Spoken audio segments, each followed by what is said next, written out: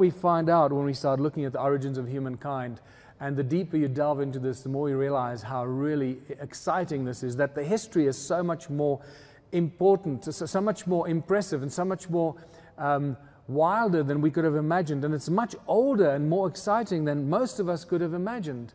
And uh, I call it, uh, in Germany, I called it funky, and the Germans really seem to have appreciated that word funky. So I'll say the history of humanity is far more funky than most of us could have imagined.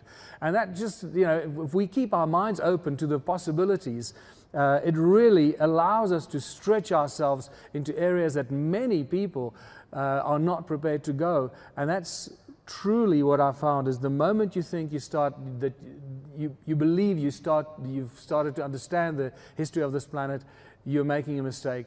We're looking at millions of years, we're looking at billions of years of history, not just a few thousand years like our historians and our anthropologists and our archaeologists keep shoving down our throats. We're dealing with a mysterious planet here. And one such example is this giant footprint near the border of Swaziland, near a place called Imphaluzi. And this is a huge mystery and an anomaly how such a giant footprint could have happened and emerged in granite. The fact that it's in granite itself shows us that we know nothing about geology, how geological formations actually happened, what is behind the, the geology around us. Um, how it materializes, and we need to put a new thinking cap on and go back. So, the interesting thing about this footprint is that it's about four feet tall, which would have been made by about a seven and a half meter giant. Uh, the reason I bring this up is because my friend Klaus Dona from Vienna found the remains of a giant that was about seven and a half meters tall in Ecuador, which has been histologically tested and scientifically tested and, and uh, concluded that it was a humanoid being that would have been about seven and a half meters tall. And so we start to look at this really wild history of this planet that many people are not prepared to go and, and absorb and embrace.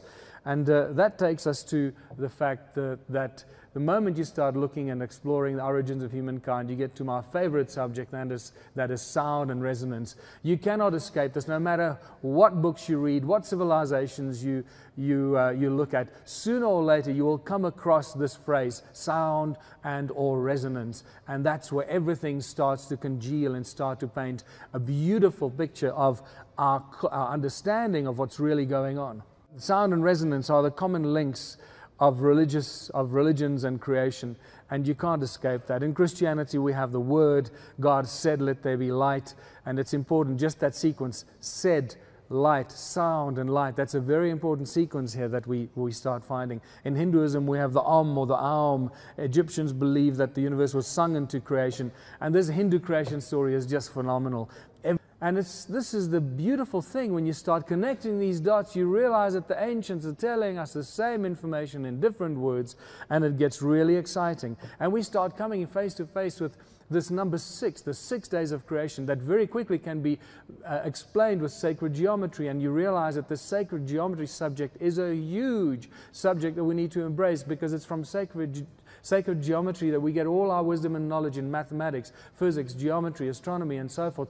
All the knowledge of creation comes from this very simple study. And, um, and mathematicians and scientists that do not embrace this keep running into dead end walls and dead end streets before they start to realize that they need to embrace this knowledge and this information. Six days of creation, on the seventh day, God rested. In Hinduism we have, uh, and Buddhism, we have the six aspects of Om and uh, then we have the Mayan creation story, which is equally beautiful. The heart of sky and six other deities, including the feathered serpent, wanted to create human beings with hearts and minds who could keep the days. And you realize that we're getting into a lot more sinister kind of creation story that keeps a lot more secrets than we imagine. Um, six aspects of the all seeing eye of Horus for those that understand resonance ratios will realize, oh, that's what, that's what this is all about. It's actually about resonance, resonant harmonic ratios and resonant frequencies, coherent resonance that starts to pull things together. And we realize, we ask ourselves, what does this all have to do with ancient civilizations? Well, everything because they understood this. And this is why they leave this information encoded in everything they leave behind for us. The symbols, the knowledge, information is encoded with all this knowledge. And all we have to do is just open our minds and embrace this and absorb this information and see how it all connects. They understood sound, they understood frequency, and they used it as a source of energy. And for many people that have studied this, it becomes very obvious. I've been saying this for a long time that the pyramids are just giant resonators, energy generating devices. And, uh, and this is just a beautiful, um, I think this is. Um, um, uh, Mr. Dunn's brilliant work on studying the pyramids, and this is supported by this ridiculous photograph that clearly shows us that there's some weird energy coming out of the pyramids. You know, certain filters can film things that you cannot see with your eyes, and this is just one such example. And then the studies in the, in the, uh, that have been done at Stonehenge show us some beautiful symmetrical patterns that come out of, of Stonehenge that clearly tell us that this was done on purpose. This is a, this is a, a, a structure that was done by design for very specific uh, um, outcomes, and this tells us there's intelligence behind it, symmetrical interference patterns that do not happen accidentally in a structure like that. Um, there'd be chaos. It shows us, and this beautiful reconstruction shows us that Stonehenge is definitely something like a resonator or an energy device, just like the stone circles in South Africa. Some of you may already be aware of that. Um, but sound and frequency was used to control and manipulate humanity. And this is where it gets, starts to get really sinister. And we realize that this information is, is further encoded in ancient symbology. The pineal gland is clearly a representation uh, represented by the all seeing eye of Horus. And this, this kind of anatomy and the control of humanity, it starts to, um, starts to rise to the sinister and what many people call. Um, uh, conspiracy theories, right? There's, there are no conspiracies. There's just information. It's what you do with that information that matters, right? So uh, remember that when you take control, when I speak to you, you can't see the sound frequencies, right? Can you see the sound frequencies going to your ears? No, and yet you can understand me. Does, does everybody here understand what I'm saying?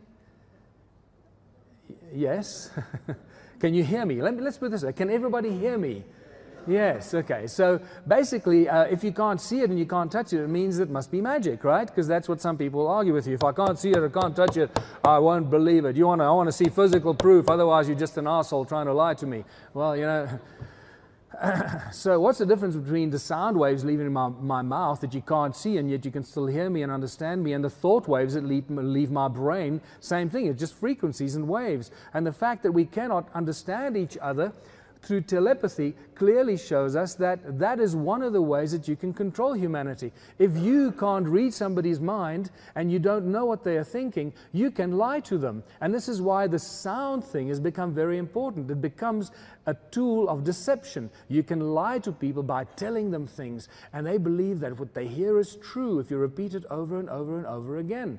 And this is the beautiful part of the deception and the enslavement of our race is severing us from ourselves, from our ability to communicate telepathically through the pineal gland and through our thoughts, then you can start controlling people. And this information is deeply encoded in ancient symbolisms. You see winged beings and other deities with cone shaped tools taking control of humanity with these weird looking cone shaped tools. You see it on symbols in the Vatican and all over the world in historic um, examples these cone-shaped tools become very important, and you start realizing that they start taking control of our pineal gland and the tree of life or DNA, which seems to be with sound frequency devices. These cone-shaped tools, and why do I say it's sound frequencies? You'll understand soon why I say this if you haven't figured it out yet. And you know what this ancient control carries on today?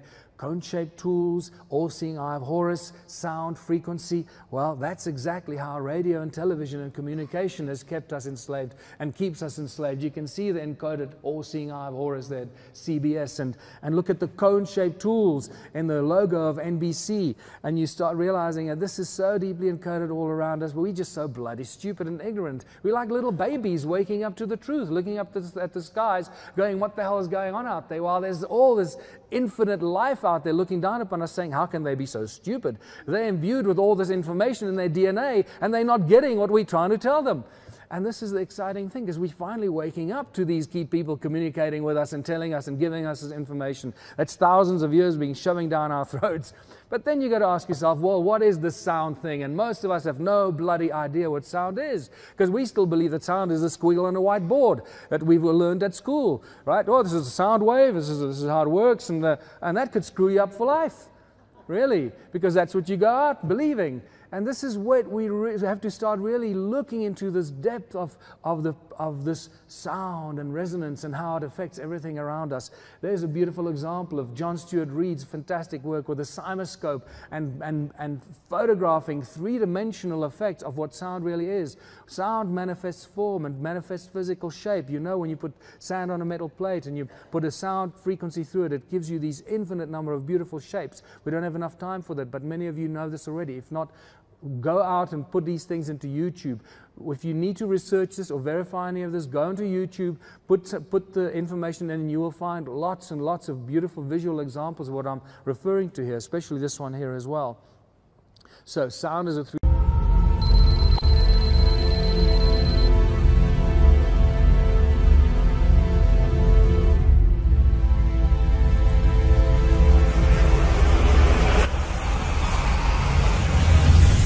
Three-dimensional effect that happens from the source and it goes in all directions.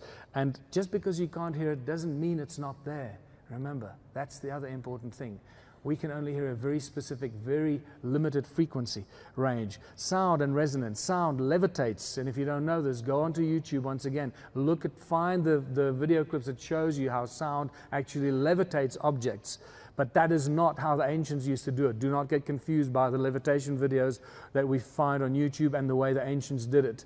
The current levitation sound uh, technology is just basically pressure waves used with sound waves, um, standing waves that are crossed over, and it, it, captures the little objects in the standing waves. That's not the, the ancients did it. The ancients used, uh, used sound uh, in the form of um, hypersound, where sound travels beyond the speed of light.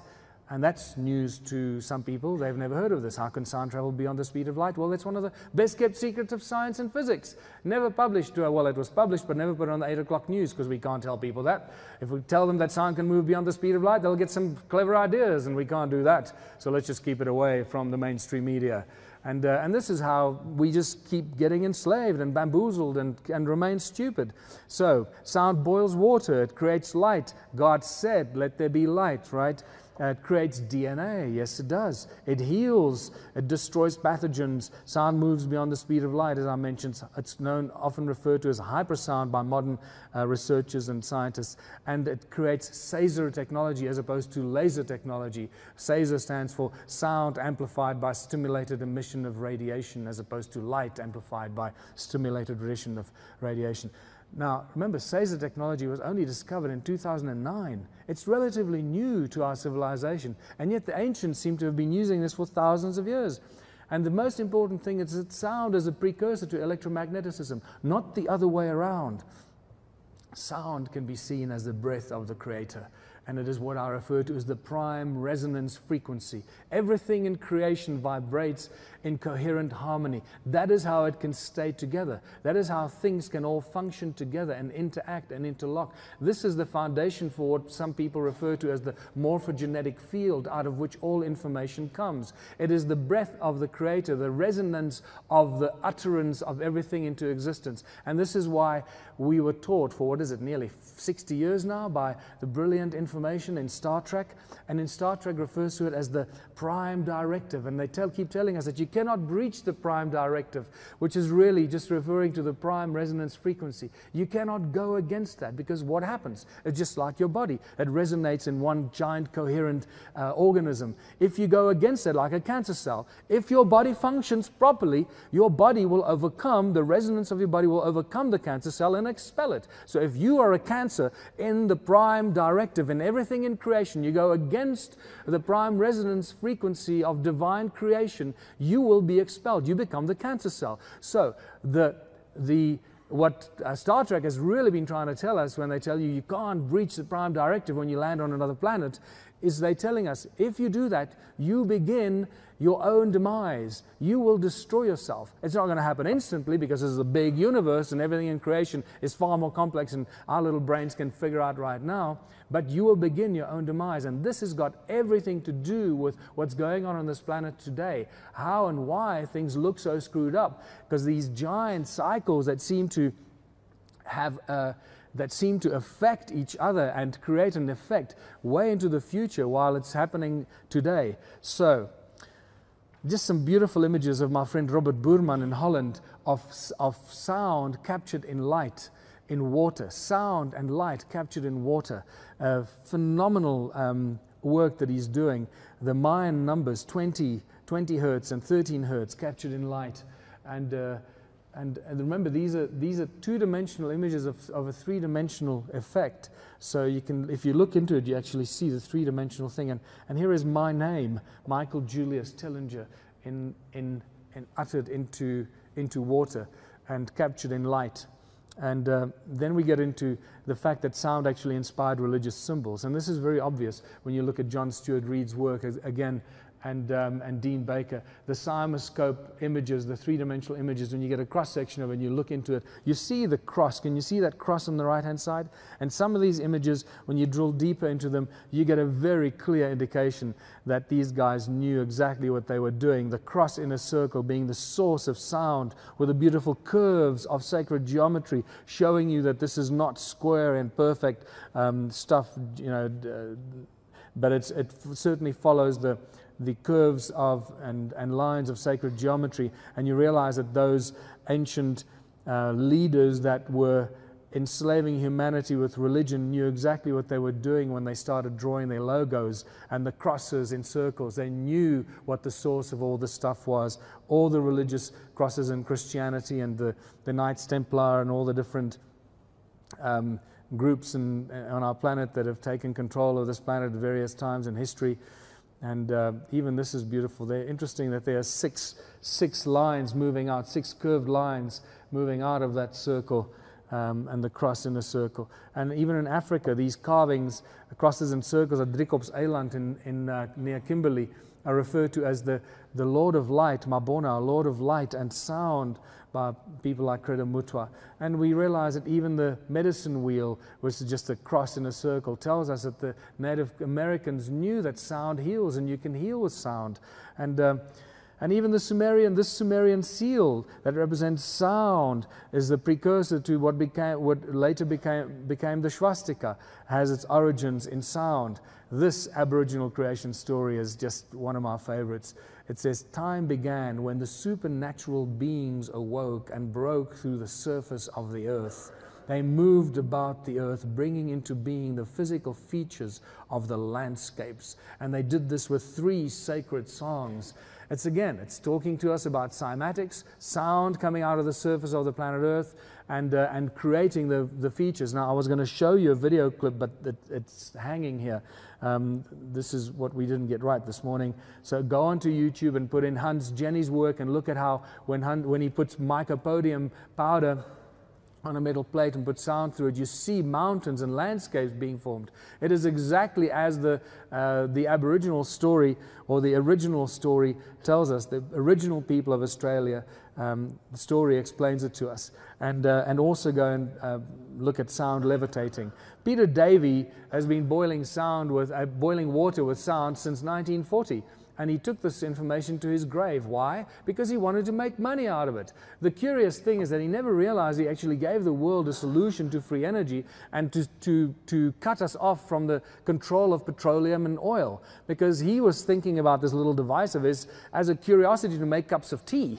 You know, it didn't realize that we can actually boil huge amounts of water with it because how do we create energy today? Electricity. We boil the water, we, we burn the coal, to boil the water, to create the steam to drive the turbines. So if you can use these devices to boil the water, to create the steam to drive the turbines, you've excluded the burning of the coal and the pollution and the raping of our earth. So Peter Davey's ignorance and, and desire to make billions of rands or dollars out of selling his device to people who want to make cups of tea is just showing how ignorant we are and how we de- deny the rest of humanity from solutions that we're all desperately looking for.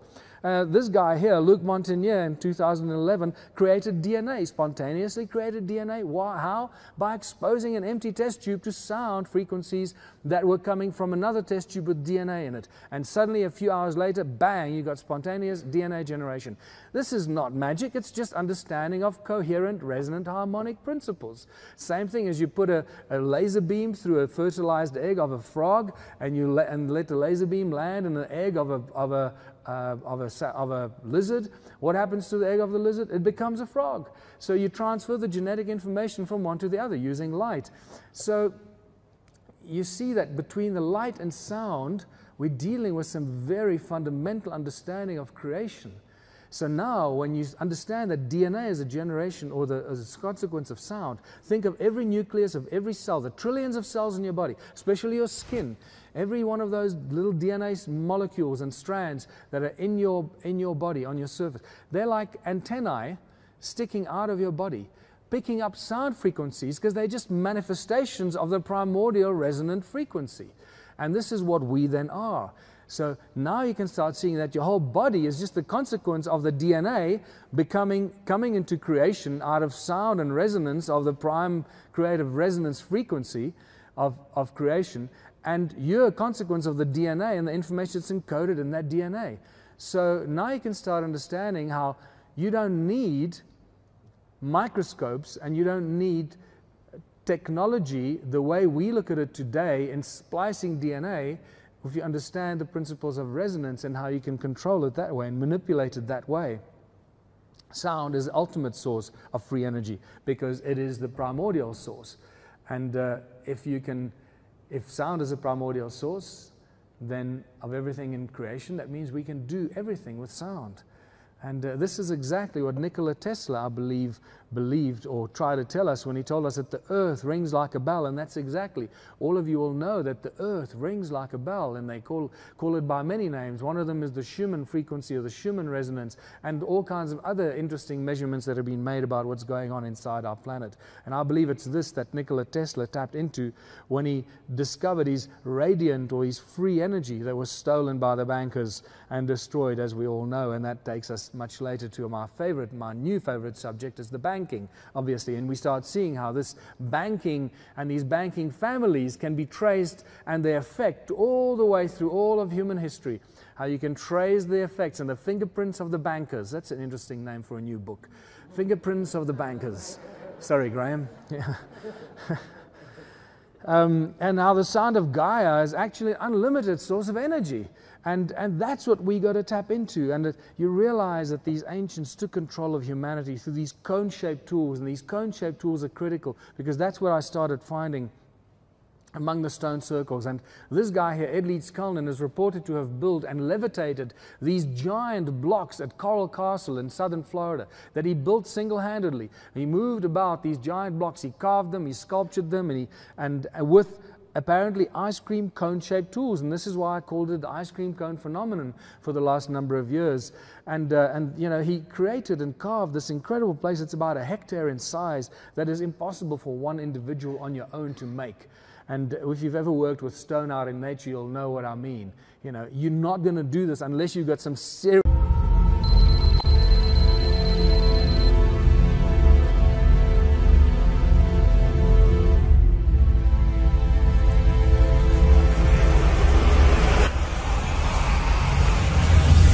seriously advanced technology. You're not going to do this with a hammer and a chisel and a pulley.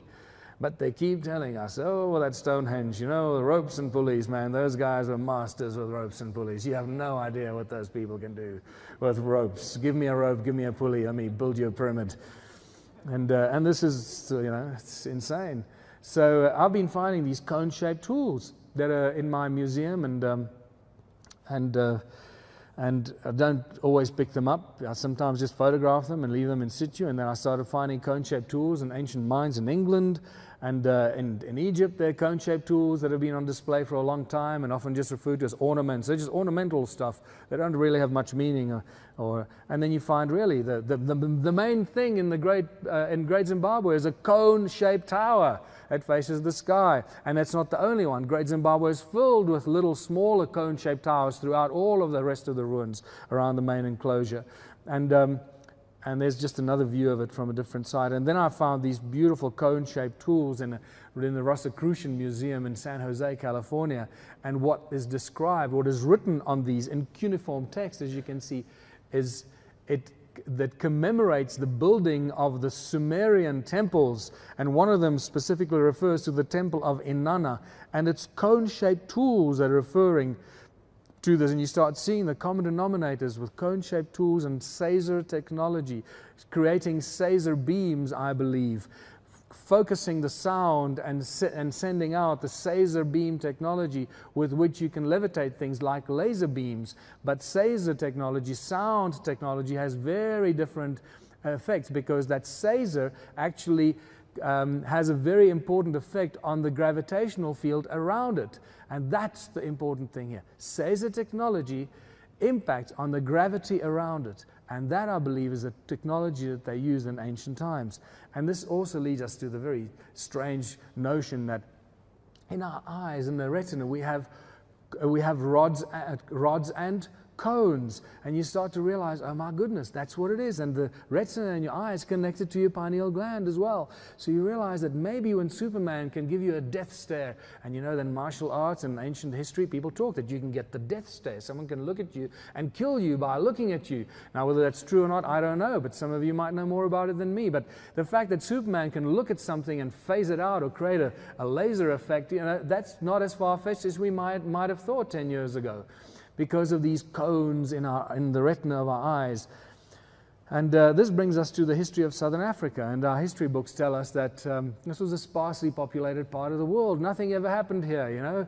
Oh, we get shown all these maps how the people migrated here from the north and the east and everywhere. And well, nothing can be further from the truth. This is all just lies and deceptions because they can't tell us that this was a deeply, densely populated part of the world because then we're uncovering some very important information. The ancient stone ruins of southern Africa tell us a completely different story. Unfortunately, as you know by now, I refer to them as they've been, they've been called as cattle kraal of little historic value in most of our history books, and they keep calling them that. Cattle kraal and enclosures of little historic value. Well, this is the great shame of the, the academia and the academic um, fraternity in South Africa that they have not looked at this in any greater detail. Um, this is just some examples of these stone circles. Uh, what you find is they all circular and yet each one is completely unique. Uh, some have very simple internal structures, some have very complex internal structures. They do never stand alone. They're always part of a much larger grid, much larger network. They look like they might be standing alone, but they certainly do not when you start to investigate them. They all were at one stage connected by these weird channels and this much larger sort of spider's web effect network uh, that connects all of them into this, this large network of stone circles connected to each other. You can look around the, the obvious structure and see the, the walls and weird terraces lying buried beneath the soil and sand, and the emphasis here is on sand. We've been finding sea sand and seashells and fossilized fish inside stone circles on tops of mountains in Mpumalanga. Um, and that tells us a very interesting theory as to what happened to them and when. I do not bring that into this presentation, there's not enough time, but I'm giving you a hint here. Uh, and it's all written in great detail in the Bible. And I'm sure that Robert Schoch also talks about that event in human history. Uh, and then they made beautiful flowers out of, out of stones because they look pretty, but you have to be up in the air to see these beautiful flowers. So that clearly is not the intention here. And can you see the channels that connect them all together? And you can also see a little cluster of hexagonal cells over there. That is a whole other story about what the hell those are for. And then we realize that these stone circles are not just simple circles, but they're also deeply encoded with with aligned with the movement of the sun, the solstices, the equinoxes, the, the rise of the sun, the setting sun, the north, south, east, west, the cardinal points, and also deeper encoded with sacred geometry. And, and you start seeing the five factor emerging out of these. And, and then hexagons emerging and equilateral triangles emerging. And you realize that, hold on, whoever built these structures did not build them for cattle and certainly did not necessarily build them for humans either. There's another example of a star tetrahedron coming out. Um, as I mentioned earlier, they were all connected with these ancient, what our historians refer to as roads, roads that were built to drive the cattle on. They're just obsessed with cattle here for some reason. I don't know, it's like Damn, cows everywhere. Ancient roads and channels for cows, roads that link all these circles, and they have no exits. So these once you put a cow in there, it's stuck. You know, it's like playing Pac-Man. you can't get out of the grid until somebody eats you.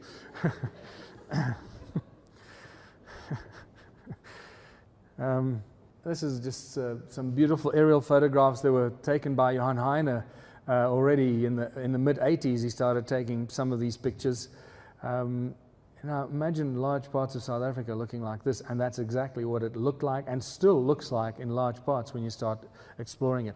This is just above where I live, on top of the mountain, and from that vantage point, you're looking at at least 60 kilometer radius that it would have looked like this a long time ago. So we're dealing with a large ancient civilization that was doing some really weird things, and there is no doubt that Great Zimbabwe is all part of it. You can see the, the, very rare aerial photographs of Great Zimbabwe show us it's part of the same structure, the same kind of um, uh, structural uh, uh, development or structural design. And uh, the other important thing to note is that there are no doors and there are no entrances. And this is the big thing. You know, this is an archaeological report from 1939 by Bloemfontein University and some spectacular pictures that show us that these are just circles all connected like a bunch of grapes and no doors and entrances. And sometimes they were not just simple circles, but concentric circles. And I've had many, you know, waking up, waking up in the middle of the night, imagining cows going in over these.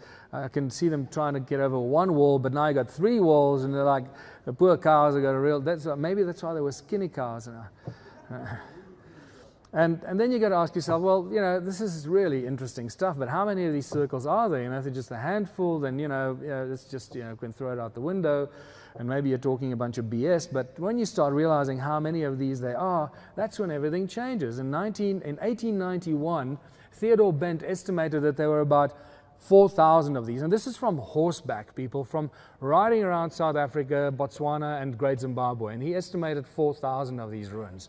By 1974, Roger Summers did a beautiful calculation, a lot more detailed information, aerial photographs, and he put a lovely calculation of 20,000 of these ruins. By this time, I entered the, the, this research field and I went, wow, 20,000 ruins in southern Africa. This is indeed the land of Indiana Jones. This is it. This is where I want to be.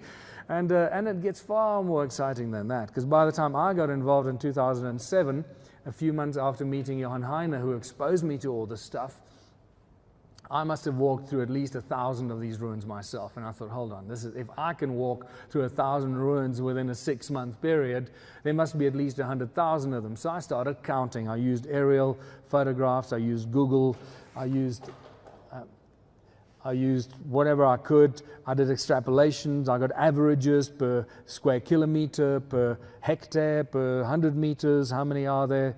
And uh, I realized that these things are scattered all over southern Africa in clusters, sometimes larger clusters, sometimes smaller clusters, sometimes really strange anomalies. I mean, this, this is south, this is really not very good resolution, but this is south of Johannesburg. And there are thousands of these just right around us in Joburg. At, at Melville Koppies, there's one. And, uh, but again, they don't recognize what it is. They completely um, misinterpret what's going on at Melville Koppies. Um, and on one hand, they show you, and I'm not going to digress, sorry, let's stick to this. Uh, and, then you get to this other side of Rustenburg on the way to Botswana. This is like five by five kilometers. This is insane stuff. There were not enough people alive in, the, uh, uh, in 1800. Apparently, this was all, all built by the Sotho-Tswana people in 1800. When you start doing the numbers and the maths, there were not enough Sotho-Tswana people alive to build this because there are stones that are in there that are five tons you know, between 400, 500 kilograms to stones of five tons. And you start doing the maths, you say, hold on, this is, you know, maybe they might have inhabited it. And yes, we find pottery and, and foundations of, of mud huts and so forth. And that's the, the big mistake our, our academics make. They find the, the, the foundations of a mud hut wall and some pottery, and they go, ah, oh, this is the Sotho-Tswana or the Bakoni culture or the Pedi culture or whatever. And they immediately go, well, this must all been built by the Sotho-Tswana people. No, God bless the Sotho-Tswana people, but they didn't build it. They occupied it, and they used it for their purposes. Proof of habitation does not mean proof of construction. Rule, num rule number one of archaeology, and let's never forget that. Okay, so um, when I started, I, I, did a little counting, and by the time I finished counting, I realized that we're dealing with more than 10 million of these structures. And, uh, and that, when you realize that you, it hits you, you go, hold on, this is just, okay, how come I've never read about this anywhere? How come no one's ever talk, spoken about this? Because we don't know. And we, I realize that we're facing a whole new civilization that we've never faced before. And we know nothing about them until we start reading all the stuff that I've been writing. And you know, since 2007, not one single university has sent anyone out to Adam's calendar or any one of these stone circles to follow up on any of this research and this information that I've been sharing. Shame on them. Shame on them. And we're sitting in one such university right here, my old university. I graduated down the road here from medical school, Wits University Medical School, with a uh, Bachelor of Pharmaceutics. And shame on this university and the others that this is the attitude they've taken. Um, so, what is this, all this activity about? What do ancient texts tell us? What do we learn from this? How do we use this knowledge for future future of humanity? I was going to tell you tomorrow. And guess what? I'm so impressed with myself. I'm right on time. So, um, so that gives me an hour to finish the rest of this presentation. And uh, this activity is all about the gold. Do not forget that we cannot separate human history from our obsession with gold. This is the recurring fact that comes back over and over and over again. All of southern Africa's history is pretty much all about the gold. In the 11th century, famous um, Arabic scholar writes, Ahmed al-Biruni writes about the prosperous gold exports from the port of Sofala. This is in the 11th century, but it goes back a lot further than that to the Makamati people, the Hindu Dravidian people that we had 3,000 years ago. And yes, 3,000 years, I use that word, that number very specifically because I have seen the evidence from archaeologists and historians that have shown me the evidence, and they are from our universities. But as quickly as they show you the evidence, they say, You can't quote me and you can't show this to anyone because I'll lose my job. And this is what's become of our academic institutions that we, we, we breed a, uh, a culture of fear and, and and keeping information and obscuring and hiding knowledge and information as opposed to exploding the opportunities and knowledge.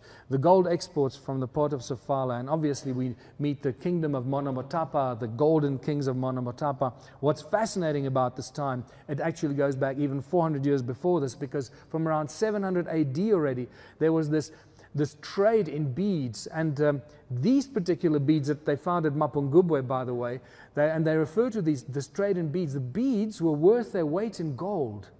Now, you see, we read the history books and we read a statement like that and we go, wow, this is an interesting curiosity, darling. Look at this. These beads were worth their weight in gold. And we carry on watching The Bold and the Beautiful. And we don't think about the statement, right?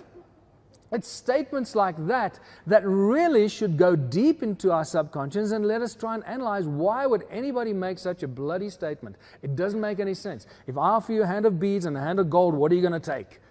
Right? So, what was going on here in that time that the beads were worth more than gold or worth their weight in gold? Something very special about these beads. And this is a great, great breakthrough that I believe we have stumbled upon ancient history of southern Africa is all about the gold. Just around the little town of Lydenburg, 75,000 gold mines were counted in, in, a geological study in 2010. 75,000 gold mines, people. Now extrapolate that to the rest of southern Africa. It goes crazy. I've had two separate reports from gold miners in the 30s uh, that found weird tunnels underground, about 30 meters deep, with weird artifacts and tools when they were digging for gold. And they said, What is this? this there shouldn't be any tunnels here. And yet, this is what they found. And when they called the authority at that stage, Merensky, the Merensky company, they arrived and confiscated the tools and artifacts, and all they said to the people, to the miners, thank you for notifying us, we are aware of this. And they took away the tools and artifacts with them. So they clearly knew something was going on, and that, I'm giving you a hint as to Paul Kruger and his millions and the discovery of such tunnels put two and two together and figure out where Paul Kruger got all his gold from, because that is one question we have never been asked or we have never asked, or no one ever asks. Where did Paul Kruger get all the gold from to load a train full of gold to send down to Watervalboven, the town that I live in, by the way? And there's a reason why I live there, because I'm looking for those Kruger millions. so, you know, that's a, that's a huge problem we have here. Because in 1902, when he loaded that train full of gold in Pretoria and sent it out to Maputo, there wasn't enough gold to fill a train with gold. Those puny little gold mines in Gauteng and, and uh, you know, Barberton and all that, they weren't producing nearly enough gold to fill a train or several coaches with gold. What's going on here? That's the important question we should be pondering. Where did Paul Kruger get all his gold from? You're looking at the, at the, I'm giving you a very strong hint. And there's a lot of evidence that I could take you through right now and spend another three hours talking just about that and some of the experiences we've had myself with my friend Klaus Dona but that's for another presentation. And this is one of the greatest discoveries in South Africa. In a sinkhole in Carltonville in around two, uh, in 1971, the father of, of Raymond Dix, our legal advisor in all our actions against the banks in South Africa, Raymond Dix's father was, a, was one of the part of a, a mine rescue team in Carltonville. and he called me in one day and he said, I've been trying to tell you this for a number of years now. I've never told anyone this story before because I thought they would never believe me and think I'm crazy, but I know that you won't think I'm crazy. There was a sinkhole that they went into to test their equipment. It was about 20 meters deep from what he told me. When they got to the bottom, they saw that one of the sides was caved in. They opened it up. They found a tunnel that was perfectly paved at, around the tops and at the bottom. They walked into the darkness, and several meters into the darkness, they found one of these. They got the ass out of there as quickly as they could, he told me. It filled them with fear, and they never told anyone. And I can tell you that you can trace every ancient civilization from the Incas to the Mayas to the, to the Phoenicians to the Egyptians to the Romans to the Greeks to the Hindus to the Dravidians. You can all trace them here to South Africa. And that's a very interesting connection to make. And that connection is always about the gold. What do other ancient texts tell us? Very sooner or sooner or later, you are going to stumble upon the Sumerian texts. And this is where you have to start reading between the lines and starting to extract some very important information. And you stumble upon the Anunnaki or the Anuna gods, the gods of heaven and earth. And you meet Enlil, Enki, and Anu, the father of the two sons. And you start uh, this is just a very brief introduction for those who have never heard of this before. I trust that there are none among you here. Uh, well, hopefully there are many among you. So we're actually not just preaching to the converted, we're actually sharing some information with people that are going to take this away and spread this. Um, the Sumerian texts talk about this place called the Abzu and Enki, how Enki created this huge gold mining operation in the place called the Abzu.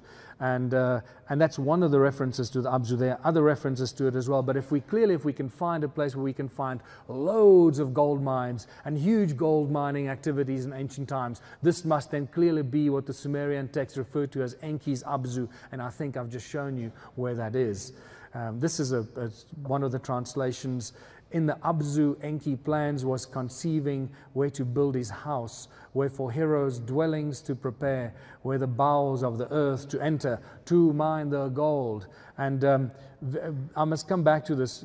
I cannot stress enough how important the effect uh, and the influence of the Anunnaki, these Anuna gods and these beings, is on this planet. Not just on this planet, on our solar system, on our entire galaxy, and most likely on the entire universe as we think we know it today. The Anunnaki, as the Sumerian texts refer to them in great detail, are far more complex beings that most of us could have ever imagined. I'm beginning to believe now, from the latest research I've done, that we're dealing with multidimensional entities, entities that do not just exist in one dimension, that can come and go as they please. And the so called planet Nibiru is not what we think. It's possibly uh, a device that, like a, a, giant spaceship that looks like a planet or whatever you want to call it, that has the capacity to, to move through dimensions and traverse space time and reappear and appear. And this is why there have been strange phenomena happening throughout uh, our, our, history and the solar system, and there are anomalies that don't make any sense, that can only be ascribed or described or explained with, with strange geophysical bodies being in place and so forth. So the Anunnaki, please go away and do more research on them. You'll see that this is they play a huge role in who we are as a species and why we're here, but a much bigger role in pretty much everything in creation as we try and contemplate it today. This is one of the translations we find because they needed help to mine the gold. And some people say, well, if they're so advanced, they had all this technology, why did they need to create people to, to mine the gold? Is because you, you can have all the technology in the world, but you still need to get it out of the ground. So, you know, so you still need help. And it's great to create this, these beings called human beings or the Lulu Amelu, the primitive worker, because if they get injured or they die, it's fine, just breed some more. You don't have to keep fixing them, just they keep breeding like flies. It's great. So let's just let them keep breeding or just keep using them. They're so bloody stupid, or just, you know, feed them with BS and let's keep abusing them and using them as slaves. And when we don't use them as slaves in mines, we'll use them as slaves in factories, and it just carries on. The slavery is just fantastic. This symbol, by the way, is very, very important. As if you don't know this yet, it's not designed by a, an ad agency for the medical industry. It's one of the most important ancient symbols we have. It's deeply encoded with, with esoteric knowledge that I really believe we haven't yet wrapped our heads around. The kind of stone that the stone circles are made of, um, special kind of stone, it's a stone known as Hornfels, after a German geologist, Herr Hornfels. It's a metamorphosized quartzite. It's black on the inside, and it has this very amazing skin, reddish brown skin that grows around it, known as patina in geological terms. This patina is recorded from all the research I've done to grow very, very slowly, several thousand years per microscopic layer. By the time you see it with your naked eye, it's already a few thousand years old. It grows very quickly but it, uh, those the, the, the patina starts to form immediately when the stone breaks, but it, as quickly as it starts to grow, it slows down. The thicker it is, the slower it grows. So the reason I'm telling you this is by the time you get tools and artifacts like this, these stones that ring like bells, by the time you get these tools and artifacts like those cone-shaped tools or the phallus stones I've been collecting, when they're covered in several millimeters of patina, it's not possible for that stone to be a few thousand years old. We're dealing with something that is many, many thousands, probably hundreds of thousands of years old, simply based on the growth of the patina on that tool and artifact, because otherwise it would be black, the color of the rock, and not covered in patina. If you want to go back, go onto YouTube. Please put in uh, stones that ring like bells, and you'll see several compilations where I'll show you how beautifully they ring.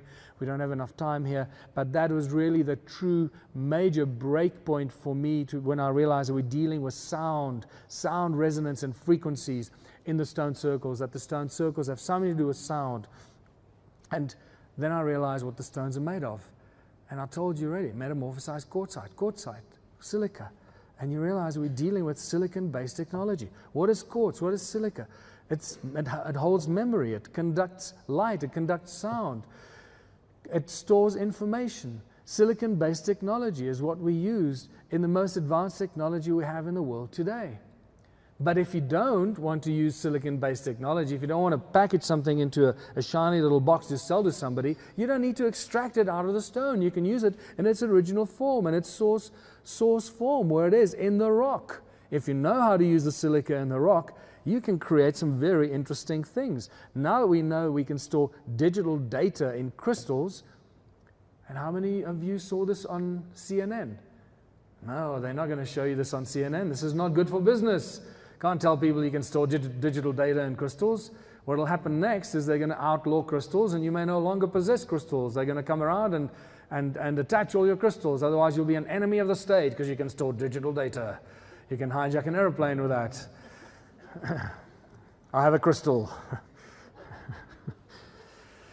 So, what we're really looking at, these ancient structures, you start realizing these ancient structures, Stonehenge, the pyramids, whatever you look at, they're actually giant memory banks like giant Stone Age Silicon Valley, all the knowledge and information surrounding the building of it, the stuff that's encoded in it, is, is captured and stored in the silica in the rocks. And I bet you some 12 year old kid's going to walk up to Stonehenge, plug in his iPhone, and download some interesting shit that none of us could imagine. And I want, to, I want access to that information very soon. So the other important thing is why these ancient sites, because we're dealing with silicon-based technology, why these ancient sites are aligned with the movement of the sun and solstices and equinoxes, because they're giant machines. They're activated by the light. They're activated by the sound. It's like a time, time clock. The sun activates it. It comes up over there. It hits a certain stone, the silica in the stone, and, and it, it acts. It switches it on. And it performs a certain function. And when the sun goes down there and it disappears, it causes a different effect. And the machine starts to do something else. That's what we're dealing with here giant machines that we use for all kinds of things that we are only now starting to imagine. The flagship among all these ruins in South Africa is undoubtedly Adam's calendar. And it was rediscovered again by Johann Heine. He's done some seriously important work in South Africa here. And, um, and when I met Johann in 2007, it was pretty much he was coming to the end of his research and uh, I guess I just took over from there, and, and this is where we are. Um, I, when I met Credo Mutwa, he started to cry. You can see my book, Adam's Calendar, on the table there. When I showed him the book, he started to weep. He said he never thought he'd see that sacred place again. And he told me he was initiated there in 1937, and uh, it's known as Inzalo Yelanga, or birthplace of the sun among the knowledge keepers in Africa. It is known as the place where humanity was created by the gods and this is where it gets especially interesting because it's not just any kind of God that created humanity there. It's a God by the name of Enki. The Sumerian Enki is the creator of humanity at Adam's calendar. And suddenly you got a connection between Sumerian texts and ancient African knowledge, and that is not what people expect to hear. This is what Adam's calendar looks like from a helicopter shot. It's a badly destroyed site. But you can see the tree on the right is north, the tree on the left is south, the two major, main calendar stones are in the middle. It is still an accurate working calendar, by the way. You can still tell every day of the year by the shadow of the setting sun on the stone closer to us, or the two central calendar stones. You can still use it as a calendar if you want. And um, uh, John Martineau told us, uh, told me the other day when we were there, this is one of the most impressive, if not the most impressive, calendars to measure precessional cycles. And that's really impressive. I've always thought that. But now that I've heard it from John, I feel really proud that we can host this and, and show this to the rest of the world. One of the best examples of an ancient calendar that is still functional today. If you look at those stones on the edge there, you can clearly see the pointed one there. And that caught my attention, and we realized later that those are aligned to the rise of Orion. We have a Horus stone there, and then, then the edge of the cliff that drops down about 100 meters and eventually goes down a kilometer into the Barberton Valley. This is the opposing view looking into the Barberton Valley. We lifted up the Horus stone and the three stones that align with the rise of Orion, and uh, you can start seeing the connections between many other ancient sites, especially Egypt and all over the world. Archaeoastronomy is really interesting here because when we measured the site, you can see the blob there north, that's north and south. You can see it doesn't sit at 12 o'clock, it's slightly left of center. And when we measured it, we found it was out by 3 degrees, 17 minutes, and 42 seconds.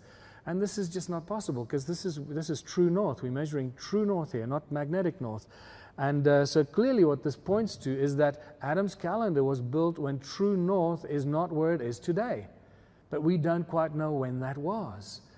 Now, Charles Hapgood suggested that, um, and by the way, it's got nothing to do, that, that misalignment's got nothing to do with a, with a precessional wobble, because it doesn't matter where you are in the precessional cycle, true north stays true north, right? It moves with it.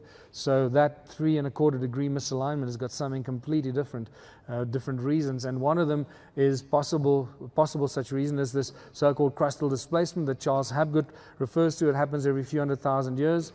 And there's other evidence that seems to suggest that the north south pole has shifted in the past. And this is not just the magnetic north south pole, that keeps moving all the time. When you connect Adam, uh, Adam's calendar through Great Zimbabwe, by the way, Great Zimbabwe was Enki's domain. It is totally and utterly encoded with Enki energy.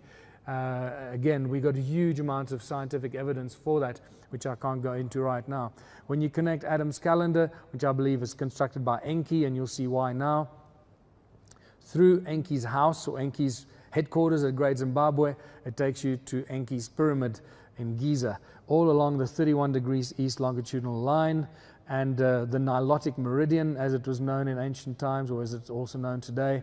Very important line, that 31 degrees east longitudinal. Then I found this translation in Sitchin's work, Zecharia Sitchin's work. Remember, he died before he saw any of this information. Uh, before, I tried to show this to him in 2010, and then um, he came out of hospital and died two months later after I made contact with him, never knowing any of this information. And then I find this translation. 40 Shar, after arriving on Earth, Enki built a special place of observing in the deep Abzu on the edge of a cliff aligned with his abode in the north and the peaks. That's as if he's described Adam's calendar perfectly, never having seen it before.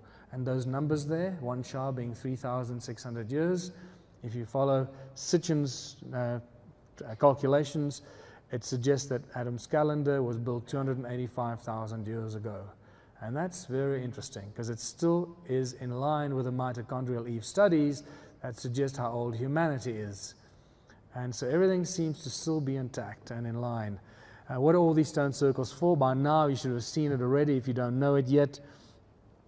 Very, very strong resemblance to cymatic patterns, just like this shape of the vowel A. Ah, when you put sand on a metal plate, this is what you'll get, this kind of shape. And that's pretty much what these stone circles are. Imagine the stones being, being uh, grains of sand, and uh, they're just responding to the sound frequencies of Mother Earth. Each one of them is a cymatic pattern and a representation of the sound of Mother Earth at that particular point by, and by putting the stones along those cymatic lines, you've created an energetic plug point into the earth using that sound and amplifying that sound, creating very powerful electromagnetic fields because of the sound as it comes out of Mother Earth, using the sound to create the electromagnetic fields, just like it was done in the beginning when God said, Let there be light. And we start seeing the application of this uh, advanced knowledge and how much energy do these, do these stone circles generate? I need to draw your attention to a little magnetron that you find in a laser beam and, uh, and um, your microwave. Magnetrons create huge amounts of energy. A little magnetron can melt metal through a laser beam technology, can melt metal in a split second. And so, if a tiny little magnetron can create so much energy, can you imagine how much a magnetron made out, made out of solid silica that's 20 meters in diameter or 15 meters in diameter. How much energy a magnetron like that will create. And I believe this is the earth splitter that we referred, that is referred to in some of the Sumerian translations, that Enki created an earth splitter within a, with, with which in the earth a gash to make. And uh, this, I believe, is some of the technology he may have used.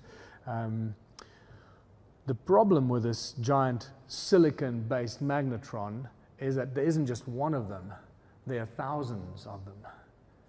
I asked two independent scientists, one in Glastonbury and one in, uh, at the energy conference in, uh, in Boulder, Colorado, how much energy would a magnetron this size create? They both told me exactly the same thing, independent of each other. They said, more energy than all the power plants on Earth today. One such magnetron. Do with that information what you want. We have so much energy being created that what we can see, can't see it very clearly there. Basically, this entire huge network of stone circles is just one giant energy grid, and it's still alive today because we've measured these energies. As I told you, electromagnetic sound, electromagnetic frequencies and waves, and and sound frequencies, the loudness of them, the heat signatures. We measured 33 and a half gigahertz in these walls, for example at 103 decibels and 580 megahertz activity. Some of the electromagnetic fields run horizontally. Remember, this is only inside, inside these walls. The sound frequencies coming out of the walls only when you're inside. And uh, and the electromagnetic fields operating only inside these walls. Sometimes they run horizontally, sometimes they run vertically out of the ground into the sky. And these are the interesting anomalies that you find that don't make any sense. And this is also why you lose GPS signal when you walk in there, not only in these particular structures, but also at Adam's calendar. At Adam's calendar, it just goes crazy. The highest, um, the allocation of frequencies in the United States ends at 300 gigahertz. That's where it ends we measured 300, beyond 375 gigahertz at Adam's calendar. So something strange is going on here. The machine couldn't measure it. And then the, the, the, that's the sound frequencies. Now, you can still explain the sound frequencies in the stone walls, in the circles, because it's the activation, the potential of the vibrating silica in the stone. But there's, there's no wall at Adam's calendar, and yet we measure physical sound generated frequencies of 375 gigahertz plus. And then as you walk into this, the imaginary circle of Adam's calendar, uh, you once again pick up very powerful uh, electromagnetic frequency that prevents you from getting um, satellite signal running horizontally until you go between the two calendar stones in the middle, and there everything changes. There suddenly the column runs out of the ground, the electromagnetic field runs out of the ground into the sky, much more powerful than the one around it. So, what have we found? We found one of these. And it's still active. Even though it's totally broken down, it is still active and alive because we're measuring these frequencies. Sitchin suggests that the Anunnaki, they were obsessed with the gold were taking the gold and beaming it skywards with rocket ships. I don't think they needed to do that. They had all this knowledge and technology of Saser and, and laser and whatever other vortex fields that they were creating. I believe they could just beam up the gold. And I think that Adam's calendar could be one such, one such site. I believe Abu Ghurab in Egypt is possibly another one. That, that teleportation device was created. In fact, Abu Ghurab looks a lot like this photograph here beam up the gold, Scotty. Uh, where do you want it? And um, that takes us to one of my favorite stories, and that's the sacred stone. One of the most misunderstood advanced tools of technology ever discovered, in my opinion, right now, as I stand here. I might change my opinion an hour from now when I hear the other presentations. but right now, this is a mind blowing breakthrough energy discovery. There are hundreds of thousands of these stones in southern Africa, these donut shaped stones known as, weight, as weights for digging sticks in South African archaeological and historical circles. If you look at the, the South African archaeological magazine known as the Digging Stick, they have one of these around the stick, and they tell us that these were made by people in the Stone Age as weights for their sticks when they went foraging looking for food. I want you to think about this, how insane that thought is. And yet, it's all throughout our history books and archaeological books. It's an insane thought. Any scientifically minded person will tell you that's not going to happen, buddy. Good luck with that. so, what are we dealing with? Just because there's so many of them, oh, also, by the way, hundreds of thousands of these stones, all the farmers have them. You find them all over the place, right? But that doesn't mean they're easy to, to lay your hands on. Now, this was supposed to happen in the Stone Age when there were just a few people running around here, and yet we have hundreds and thousands of these. Or even if there are dozens of thousands of these, still the numbers don't match. When I met Daniel Nunes from New York City, who builds these little copper vortex coils, he told me that by putting sound into the center, he turns gas into plasma. That's how much energy his little copper coils create. So I realized that we're dealing with something far more important than just a weight for a digging stick, that these donut shaped stones made out of pure silica virtually are really toroid vortex generators. That's what these things are. And that's pretty much what Credo Mutwa hints at when he starts to explain to you what these are. But you know, these shaman don't always tell you straight up what they're trying to tell you. They speak in parables and they let you figure it out for yourself. And sometimes it takes you a year or two to figure out what he told you. And that's exactly what happened with me. For those that saw Thrive, the movie, or the documentary, you'll see that beautiful image there, these giant vo uh, toroid vortex um, energy fields that seem to be at the foundation of everything in, in our reality, from the tiniest atom to the cells in our bodies, to the, uh, to the energy fields around us, to our solar system, to our galaxy, to the greater universe we accidentally put one of these, and we started measuring these weird energy fields around these, these donut-shaped stones, and I realized, hold on, we're dealing with some really powerful energy fields being generated from this thing. And, uh, and when you stack them on top of each other, it goes ballistic. Um, and then we uh, accidentally, my friend Neil put one of these in a bucket of water. And when he woke up in the morning, this is the best photograph he could take. He started, he saw thousands of tiny bubbles that created a spiral vortex and they're moving, spiraling around into the center of the hole, uh, showing us that there's this energy field created around these, these donut shaped stones. And you suddenly realize that because of this energy, this power that these stones create, and they were created, given to humanity by the gods. This is most likely why these beads are worth their weight in gold, because they were mimicking, and they were little tiny little miniature. Um, you know, uh, copies of these sacred stones that could perform miracles and create energy fields and manifest things and do all kinds of stuff that the people didn't quite understand. Well, I took one of these stones, my best example, to Nassim Haramein last year, exactly about this time last year. Louise and I packed it up. We're going to do a presentation. Uh, I believe I was the first person ever, ever invited to do a presentation to his research team there in Hawaii at the Resonance Research Project. And that stone is now with Nassim. I'm still waiting to hear what they've done with it, what research they've done. Um, I packed it in my bag and uh, packed, wrapped it up in, in, in, bubble wrap and put it in my bag. And Louise and I left for, for um, Doha on Qatar Airlines. We had a few hours layover, at which point we got onto another plane heading for Chicago, USA. At which point my bag went through Homeland Security or NSA security. And so we're sitting on the plane waiting to take off, and the captain already said, okay, close doors and cross check and blah, blah, blah. And 15 minutes later, we're still sitting there while the doors open. And suddenly we hear on the intercom, Louise Clark, please identify yourself. Or in some other Arabic accent, uh, not Afrikaans.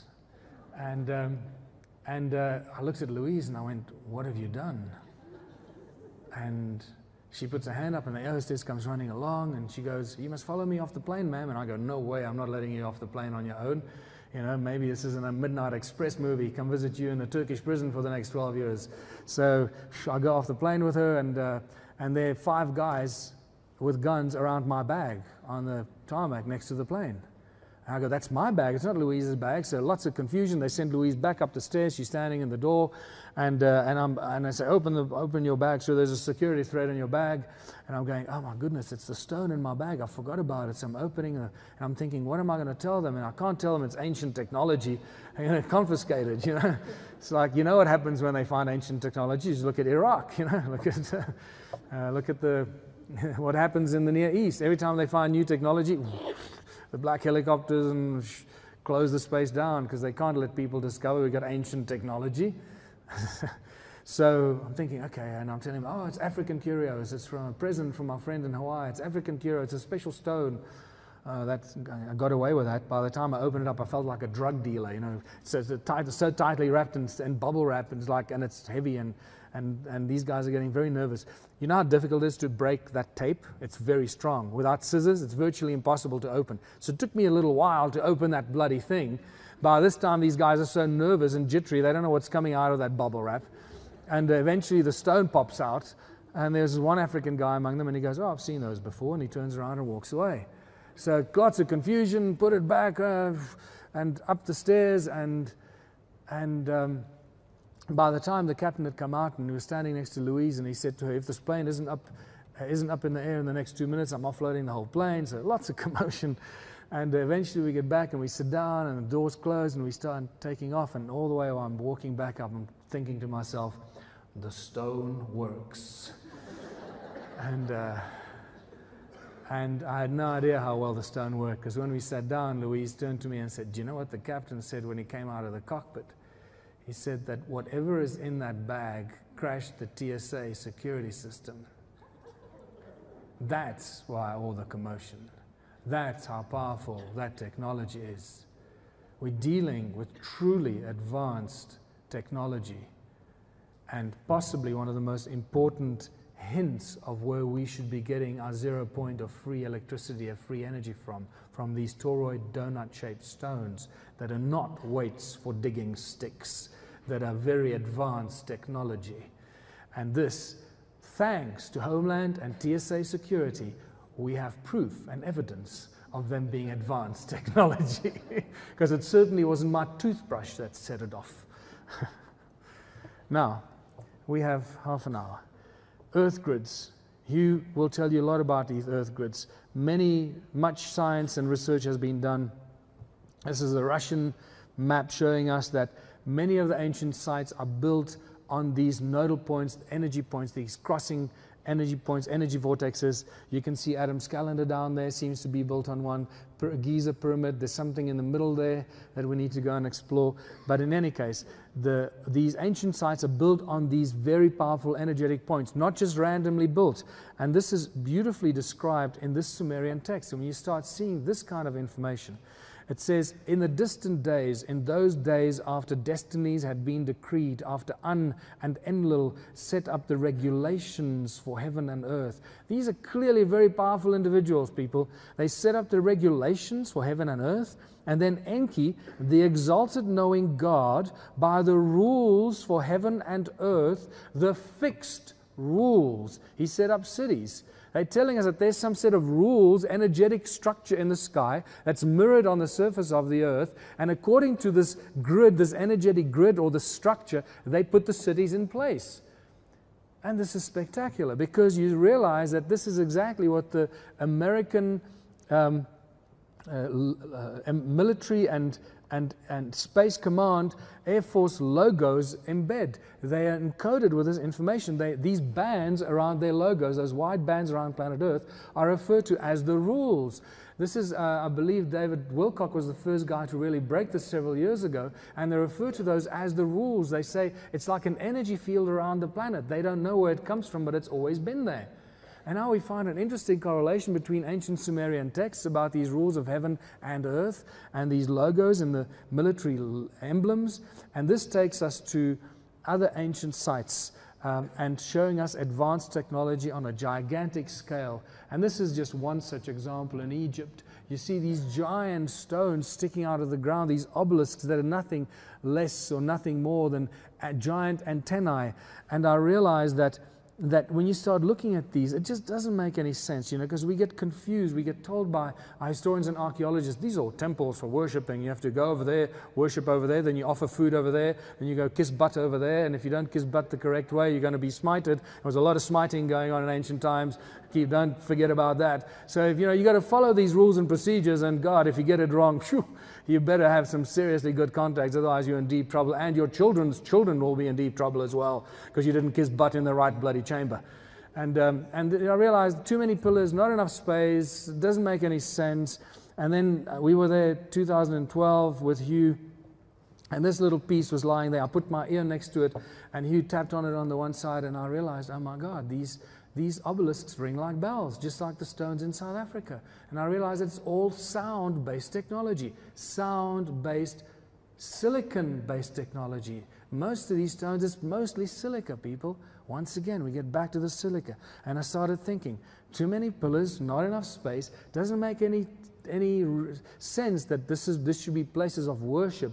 Not enough space for people and and you start looking at some of the aerial shots and you realize that look at that congestion of pillars and those weird geometrical patterns over there. Many of them don't seem to have very defined entrances and doors. They just look really weird kind of uh, random structures. Um, and, uh, and then even the Parthenon, when you look around the Parthenon, there's, there seems to be an imprint of a, the leftover of a, of a, a, foundation, of a geometric foundation that's been broken down, only the, the major pillar structure being left behind. And then the entrance portal to it over there. The, again, the walls and the pillars, too many pillars in there. Why all these pillars in this confined space? And then you see, see things like this, and we get told this is like Parthenon like structures. That's where you go and offer food here, you go worship over there, and then that place on the left, that's where the people lived, and they would come here and worship and offer food and do some more butt kissing and whatever they had to do. And then you do, and you find these kind of things, these these concentric circles in front of a platform filled with pillars and another Parthenon like structure there uh, with nothing in it. And you realize that these are not temples for worshiping, these are templates. Templates for what? Templates for giant circuit boards, silicon based technology. That's what we're dealing with here. This has got nothing to do with worshiping gods and, and offering food, but very advanced technology, sound based technology, giant circuit boards generating huge amount of sound energy and either putting it into the sky with the, those giant obelisk needles or sucking something out of the sky. And you start seeing once you see this everything changes and our understanding of the reason for these temples that later were abused for completely the wrong reasons and suddenly microprocessors become giant macro processes of unimaginable proportion using silicon based technology in ways that we can't imagine today. And uh, suddenly everything changes. And we realize that these are not places of worship, and that's not where the people used to live. That's part of the circuit board on the left. And this whole thing is just a, an ongoing circuit board. And, and, and if you combine silica and water, the two most abundant elements on planet Earth, uh, you realize that water has the same properties. It conducts light and sound. It, it stores knowledge and information. It stores and conducts energy. If you combine silica and water, my God, you've got a very powerful device that can do things that we can only dream of right now as we sit here. And even the Mayas start to encode the information of uh, circuit boards into the artwork. And the pyramids are just spectacular. I just love the pyramids because this one specifically is just so, so awesome. It's like Oh, yes, we're looking at a giant energy generating device, and the rules for heaven and earth tell us that there is an energy grid around planet Earth that is encoded in the modern military and Air Force logos. And how is this energy grid around the Earth put in place? They used human sound, human energy to feed the needs of these ETs. And, uh, and Parthenon is just one such example. This is why they put these huge amphitheaters close by. You fill the amphitheater with a lot of people, you fill them with fear, you get them excited, they make a hell of a lot of noise. You know how noisy these, these uh, soccer stadiums get. You can't even hear, the, the players can't hear each other on the field. That's how much noise we create as spectators. You get those into the amphitheater, you get them filled with fear because they fear smiting. Remember, a lot of smiting going on and it's connected to the circuit board. You get them to activate it, and it's probably, by the looks of it, human sound that was activated to activate these circuit boards. Here's another example. There's your amphitheater with a beautiful resonating line of, of pillars that connected to the circuit board, and it's obviously badly destroyed. And, and here's another one on top of the mountain. There's your circuit board right in the middle of the mountain. There's your amphitheater that feeds it and kickstarts the process. And this is what we're dealing with, with giant technology, huge silicon-based technology. The question is, what do we do with all this information? What have we learned from all of this stuff? It's really interesting stuff, isn't it? But this is where my real interest starts to kick in. Because if we just see this as a curiosity, then it's completely useless and a complete waste of time. Go home, put a gun to your head, and pull the trigger because it's not going to get you anywhere. It's just going to make you wonder more about what the hell was going on in the past. How we can apply this to the savior of our planet and the prosperity of our species is far more important. And this, I believe, brings us to the 2012 prophecy and the crossing of the galactic plane, which was not just a celestial or a cosmic event, it was a physical event. Why was it a physical event? Because when our solar system crossed this galactic plane, uh, in many ways, it's still busy crossing it.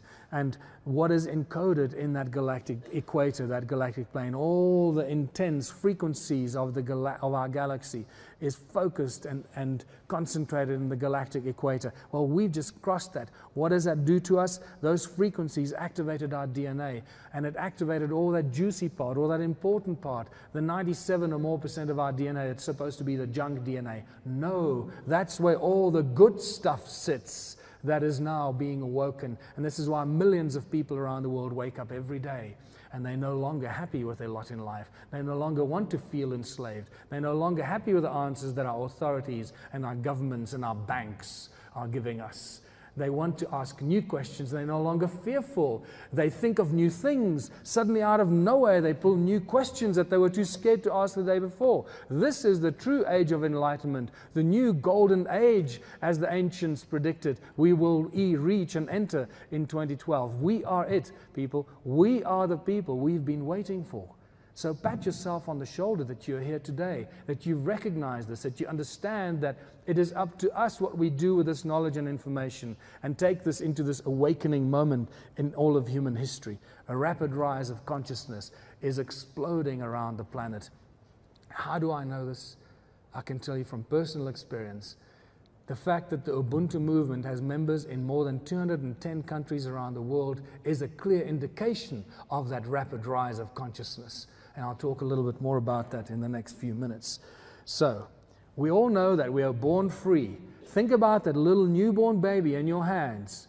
When you look down on that baby, it is completely free. It's born into this world absolutely innocent and filled with wonder. And many of the new babies filled with very specific missions that they have to accomplish. so we're born free on this planet. And yet, from that moment we are born, we cannot move around freely. We cannot live where we choose to. We need passports and we need work permits to earn money, to survive. We have to follow rules and laws that we did not agree to.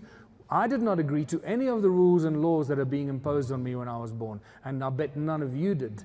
None of you agreed to be a citizen, but you were forced to be a citizen. You're not a citizen, you're a living, breathing human being, but you have to call yourself a citizen, and the moment you do that, you become a number that is represented by a barcode in your ID document, and you realize that you've been enslaved in a system that none of us could have imagined.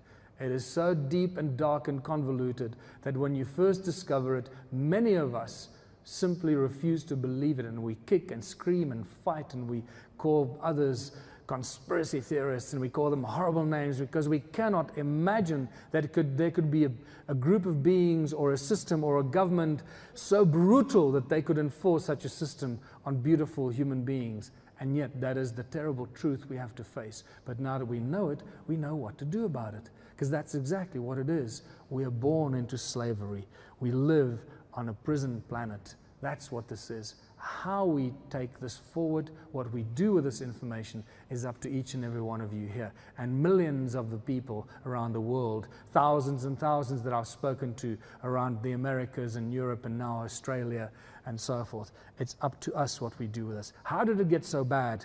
Well, the Sumerian texts tell us very clearly when kingdom was lowered to earth from heaven by the Anunnaki or the Elohim, and don't confuse those two. That's a long debate, okay? Don't get confused by that. Some 6,000 or whatever years ago, when a small group of royal political bloodlines took control of the world, when those first priest kings were appointed, these two Sumerian kings lists tell us the names of the kings. They tell us how long they ruled, and they tell us that the first priest kings were appointed by the gods to rule over humanity. To rule over them, they were given specific knowledge from where we get the secret societies, and they were given special weapons and powers and knowledge of, of alchemy and wizardry and, and all and sorcery and all this stuff. And that's what they've kept secret for thousands and thousands of years. That's how they've kept control. These royal bloodlines, these first priest kings that were appointed by the gods, have ruled this planet for thousands and thousands of years. And the same bloodlines continue to rule the earth for thousands today. These same bloodlines that you can trace back. What did these first priest kings do? One of the first things they did was to create money. Money is not a consequence or evolution of thousands of years of barter and trade. That's one of the big lies that we've been told. Because if they keep the evolution of money alongside the evolution of humans and human consciousness, we'll believe that that's part of our, our existence, that we have to have money to survive, which is one of the biggest lies we've been told. And you realize that these first priest kings were also the first bankers. Okay?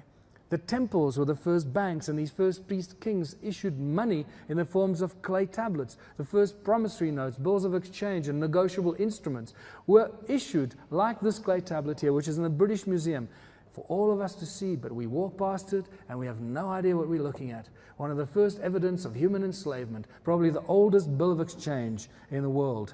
4,000 year of bill of, bill of exchange. Same things the bankers do to us today, except they do it on paper, not in clay. Paper can burn, clay doesn't. So luckily, this is preserved for us.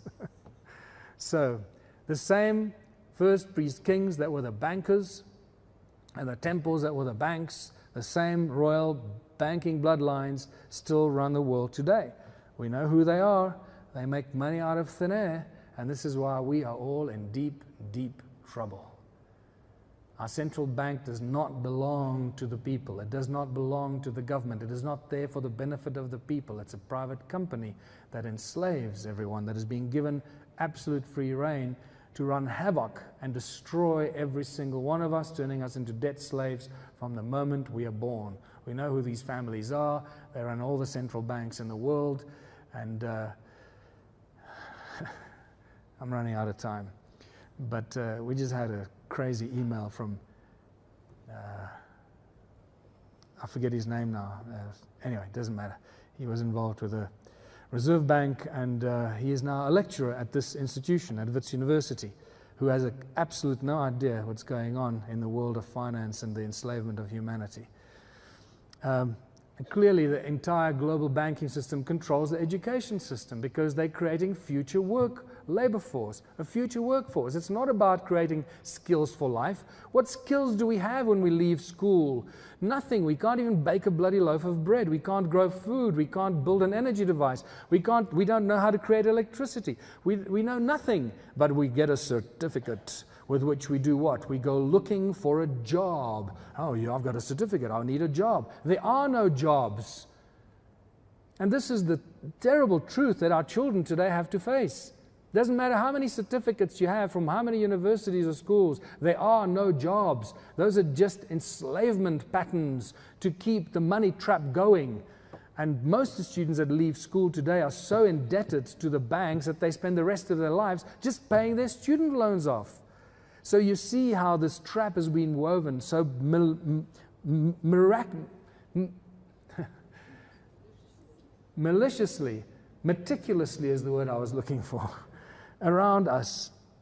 Money controls the wars. You know this. They always, they always fund both sides because they benefit from the huge amounts of money that wars generate. The Second World War is just a beautiful example, and the manipulation of Hitler. And then obviously the, the whole Iraq and, and, and Middle East war. And the governments and large, and large corporations have stolen the country from its people. We all believe that the country belongs to its people, right? That's what our Constitution says. Well, guess what? It's called the Constitution of the Republic of South Africa. What is the Republic of South Africa? It's a corporation. It's not the land called South Africa. And this is the little twist of the words. When they say the Republic of South Africa and they mix it with South Africa, they, we think they're referring to the same thing. No, it's a very clever deception.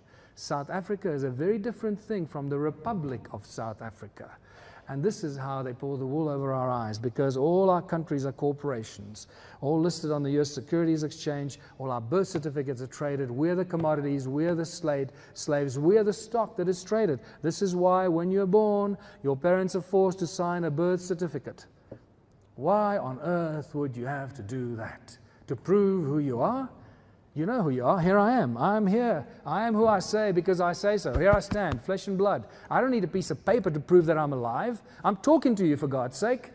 You know that I'm alive. Why do I need a piece of paper? When I was up against the bank, and I'm really running out of time, in the court, I was hoping for an opportunity to prove to them that I'm a living, breathing human being and that I'm not a piece of paper. I was going to take a six inch nail and say, if you believe that I am this piece of paper, let me prove to you that I'm not. If I drive a six inch nail through my heart, I will surely die. So let me drive a six inch nail through my ID document and see if I'm still alive. And I, you know what the outcome is, right? Oh my goodness, it's just, I'm still standing there. What's going on?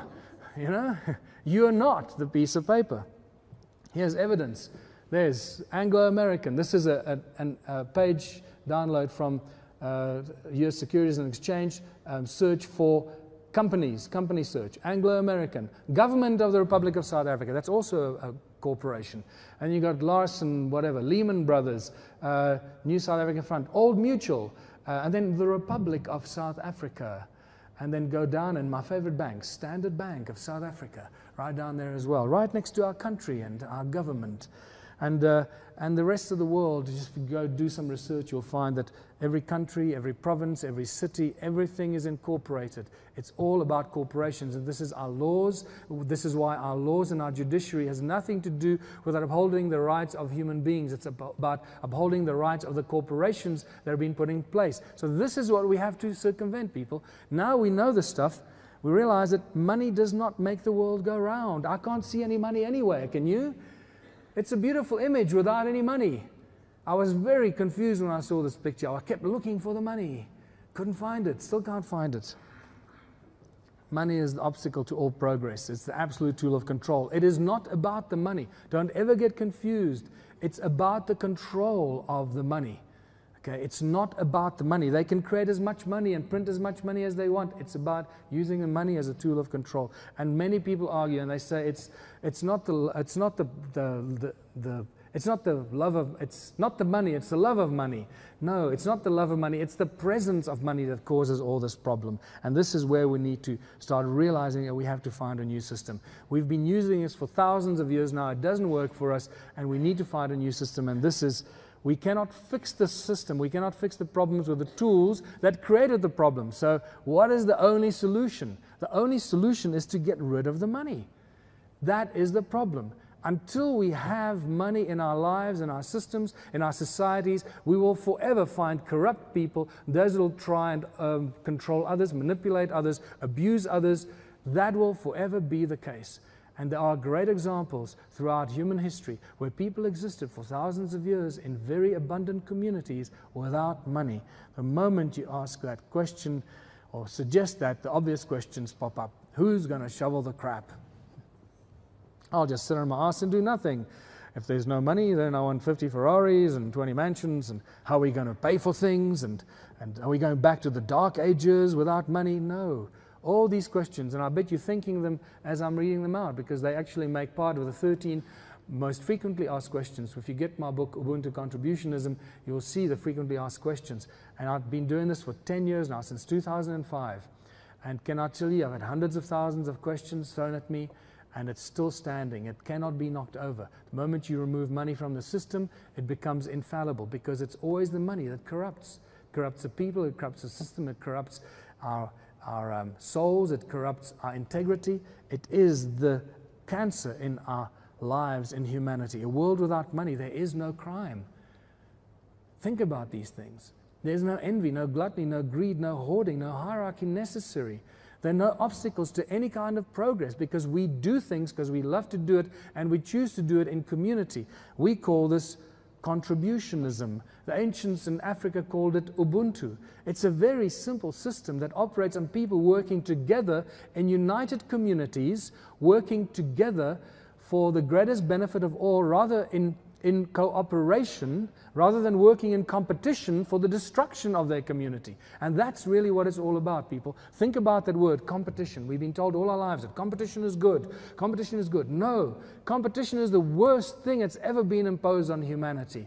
Cooperation is what we, we should be operating under. Cooperating for the greatest benefit of all. Let the scientists cooperate to develop and invent the best scientific solutions for everything and then give it to humanity. Let the farmers and the, the food growers uh, do that in the same way.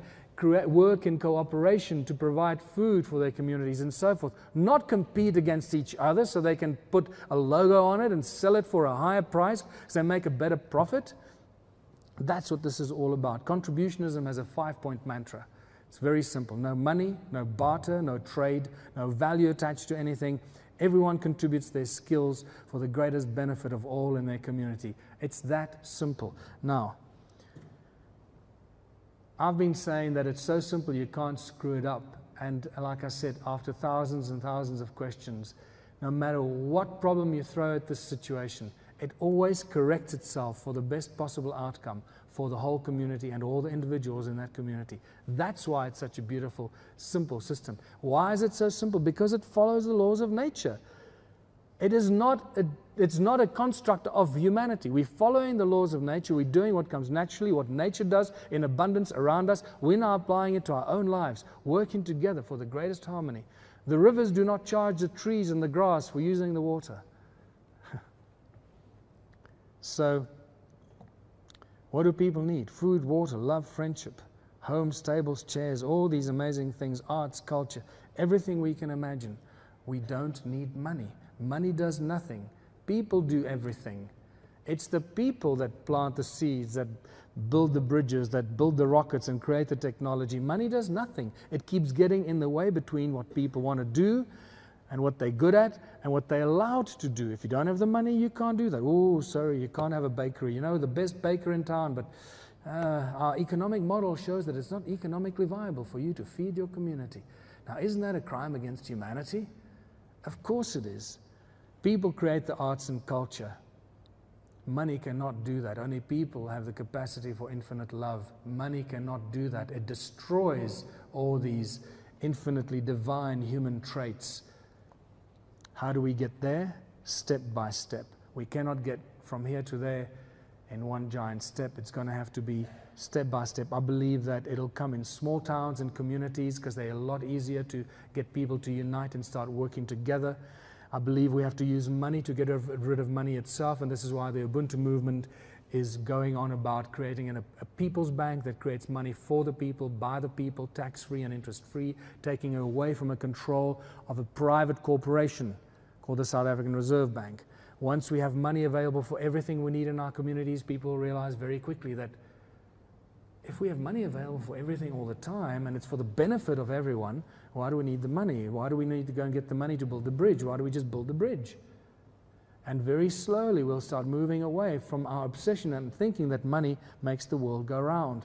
Transforming small towns and villages into communities of abundance, not self sustaining communities. That's the big difference between contributionism and self sustained communities. Contributionism creates communities that create abundance, three times as much as what they need, so that one third is consumed and the other two thirds are made available to the communities around them for a fraction of the price in the beginning, which means that you bring all the people from your surrounding communities, they buy all the stuff from you, which immediately collapses their economic, financial, capitalistic model. The moment you've achieved this as a tiny little community, you will have an immediate ripple effect on all the communities around you. This is one of the models. Using an alternative source of energy to, to, to float this whole thing. If you can provide an alternative source of energy that's free to the people, almost free, you can then introduce the concept of contributionism on a weekly basis. You will have free electricity. All you have to do for that is to work for three hours a week on one of the community projects. And now suddenly you see the abundance, whether it's the dairy, the fish farm, the recycling, the bakery, the, the, the, the, the whatever it is you can imagine. Just fill in the gaps. Suddenly you're creating a town of a thousand people. You've got 3,000 hours a week of labor that you'll have, people working and, con- and contributing towards community projects. We can't imagine that kind of abundance because capitalism does not allow for this kind of abundance to happen. And all you do is use free electricity as a platform for this. And suddenly you realize this is why electricity and energy is probably one of the most fiercely guarded sectors of our society. Because once people have free alternative electricity and energy, everything changes. The way we travel, the way we are probably not going to drive on roads, but levitate in, in, in different vehicles, that we're not going to need to live in cities, we can live in communities of your choice. Everything we do will change completely. If you start thinking about that, you'll see how rapidly your outlook on a utopian Ubuntu contributionist community changes. The electricity, the free energy, is the catalyst for all of this. And as you may know, we are sitting on thousands and thousands of free electricity devices out there. There are many brilliant minds out there that have given us free electricity. I've shown you the stone is a free electricity device. All we have to do is put some sound into it and figure out how to harness that energy that comes out of it. Because if it can crash the TSA system in Doha, it can certainly do many other things. So we need to create an alternative education system. We cannot send, keep sending our children into the concentration camps that deprive them from unlimited thinking, putting them into these prison cells of left brain prisons and right brain prisons and turning our children into marching soldiers to the beat of the capitalistic drum. This is what needs to change. Imagine if your child is taught true skills for life from the earliest of time by master teachers in our community, teachers that are chosen by the community, not imposed on us by our government. Not that I don't like teachers, but unfortunately, the education system is structured in this way. And many teachers out there would love to teach real truth and true skills for life, but they're forced to teach the textbooks that, that, that are put in their hands. Imagine if your child and we are taught true skills for life, from growing seeds to building electricity devices to building bridges to, um, to blowing glass to whatever it is you can imagine. Um, by the time you're 16 years old, you will know how to do each and every one of those things. You're not going to be able to just regurgitate it from a textbook. You'll be able to build a bridge or create a rocket and, and build a computer from scratch. You're not just going to have a certificate that says somebody has to give you a job. And this is what these Ubuntu communities are all about creating people that perform their labor of love for their community. By the time you're 16 years old, everybody will know what you're truly good at. And you will know exactly what your God given talents and passions are, what you will want to contribute to your community or do for the rest of your life. And I believe that my early models of thinking that you'd have to contribute three hours a day of your, of your personal uh, skills and talents and then three hours a week for your community, that model is rapidly falling away. I think that by the time we get this off the ground, three hours a week in a community project is probably going to be all we need because everything we do, from the master shoemakers to the master glassblowers to the master bridge builders to the master rocket builders, everything will be driven by master uh, teachers in our communities, and we'll go from one to the other as a community project, learning these skills and constantly expanding our mind while prov providing abundance beyond our wildest imagination. So, stop chasing the money. Only in unity we thrive and anything is possible. And I'm going to end here by saying that only out of unity comes infinite diversity and abundance. Why can I make such a silly statement? Some people think that we're creating drones because we want to be all the same. No. Think of the body trillions of cells together working in united harmony for the best outcome of your entire body, not competing against each other, not killing and destroying each other, working together so that your whole body benefits. Start seeing your community as an extension of your body, everyone working together for the greatest benefit of the whole community not fighting or competing against each other. That's the system that we need to move into. We don't need money to do that. And this is why we don't need to fight the bankers. We can just certainly circumvent them by creating abundance for ourselves, by working together, not needing their money at all. Contributionism. We were, the Ubuntu Party was in the South African elections. As a result of that, so much has happened. We don't have time for that. It's a global explosion of Ubuntu philosophy, Ubuntu consciousness. We now have members, as I mentioned, in more than 200 countries. As we speak, Ubuntu parties are being formed in Canada, Germany, Switzerland, Australia, New Zealand, uh, Austria, and United States. In Canada, we know for sure that the Ubuntu Party will be contesting the elections in 2015, and so the consciousness explosion starts. All the information is in my new book, Ubuntu Contributionism. And this is the good news a blueprint for human prosperity, because that's what this is all about learning from the ancients, applying it for the benefit of humanity today. What we do need to do is um, these are just some of the projects in Waterval but I'm going to stop and tell you go out there and tell everyone, be a seed of consciousness. Don't keep this information to yourself. Don't be afraid of it. To communicate telepathically through the pineal gland and through our thoughts, then you can start controlling people. And this information is deeply encoded in ancient symbolisms. We see winged beings and other deities with cone shaped tools taking control of humanity with these weird looking cone shaped tools. You see it on symbols in the Vatican and all over the world in historic um, examples these cone-shaped tools become very important, and you start realizing that they start taking control of our pineal gland and the tree of life, or DNA, which seems to be with sound frequency devices. These cone-shaped tools, and why do I say it's sound frequencies? You'll understand soon why I say this if you haven't figured it out yet. And you know what this ancient control carries on today? Cone-shaped tools, all-seeing eye of Horus, sound, frequency. Well, that's exactly how radio and television and communication has kept us enslaved and keeps us enslaved. You can see the encoded all-seeing eye of Horus there, CBS, and, and look at the cone-shaped tools in the logo of NBC, and you start realizing that this is so deeply encoded all around us, but we're just so bloody stupid and ignorant. We're like little babies waking up to the truth, looking up at the skies, going, what the hell is going on out there? While there's all this infinite life out there looking down upon us saying, How can they be so stupid? They're imbued with all this information in their DNA and they're not getting what we're trying to tell them. And this is the exciting thing is we're finally waking up to these key people communicating with us and telling us and giving us this information that's thousands of years being shoving down our throats. But then you got to ask yourself, well, what is the sound thing? And most of us have no bloody idea what sound is because we still believe that sound is a squiggle on a whiteboard that we've learned at school, right? Oh, this is a sound wave. This is, this is how it works. And, and that could screw you up for life, really, because that's what you go out believing. And this is what we have to start really looking into this depth of, of, the, of this sound and resonance and how it affects everything around us. There's a beautiful example of John Stuart Reid's fantastic work with a CymaScope and, and, and photographing three dimensional effects of what sound really is.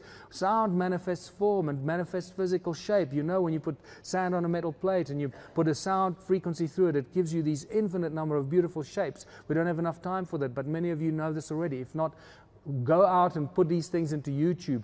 If you need to research this or verify any of this, go into YouTube, put, put the information in, and you will find lots and lots of beautiful visual examples of what I'm referring to here, especially this one here as well.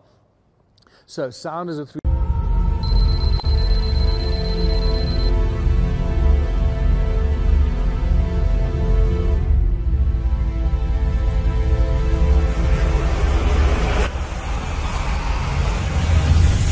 Three-dimensional effect that happens from the source and it goes in all directions.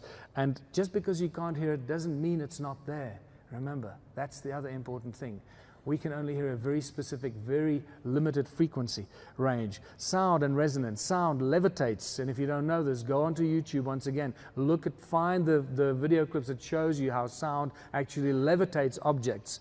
But that is not how the ancients used to do it. Do not get confused by the levitation videos that we find on YouTube and the way the ancients did it.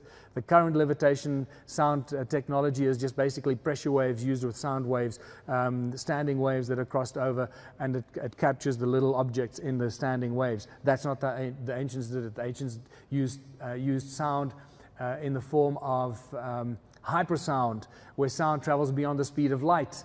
And that's news to some people. They've never heard of this. How can sound travel beyond the speed of light? Well, that's one of the best kept secrets of science and physics. Never published. Well, it was published, but never put on the 8 o'clock news because we can't tell people that. If we tell them that sound can move beyond the speed of light, they'll get some clever ideas, and we can't do that. So let's just keep it away from the mainstream media.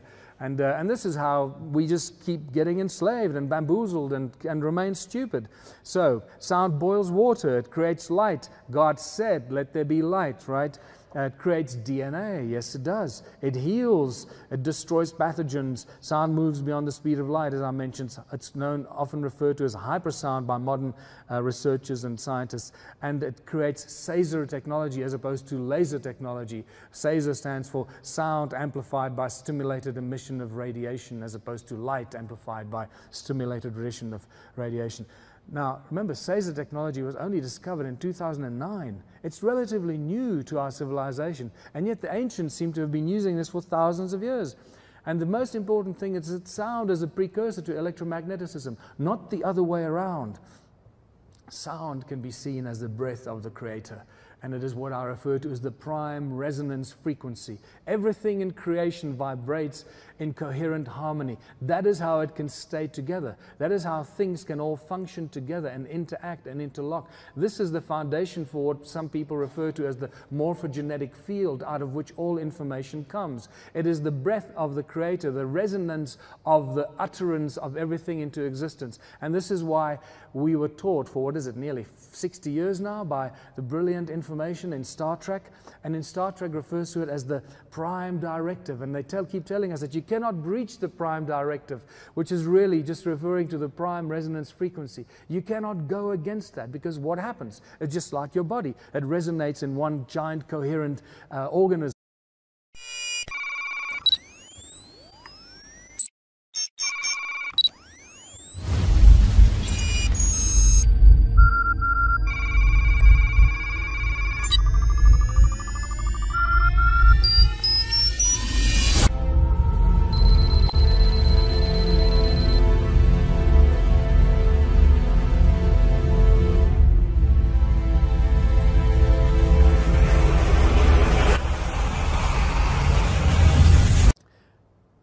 We find out when we start looking at the origins of humankind, and the deeper you delve into this, the more you realize how really exciting this is, that the history is so much more important, so much more impressive, and so much more um, wilder than we could have imagined. And it's much older and more exciting than most of us could have imagined. And uh, I call it, uh, in Germany, I called it funky, and the Germans really seem to have appreciated that word funky. So I'll say the history of humanity is far more funky than most of us could have imagined. And that just, you know, if we keep our minds open to the possibilities, uh, it really allows us to stretch ourselves into areas that many people uh, are not prepared to go. And that's truly what I found is the moment you think you start that you, you believe you start you've started to understand the history of this planet, you're making a mistake. We're looking at millions of years, we're looking at billions of years of history, not just a few thousand years like our historians and our anthropologists and our archaeologists keep shoving down our throats. We're dealing with a mysterious planet here. And one such example is this giant footprint near the border of Swaziland, near a place called Imphaluzi.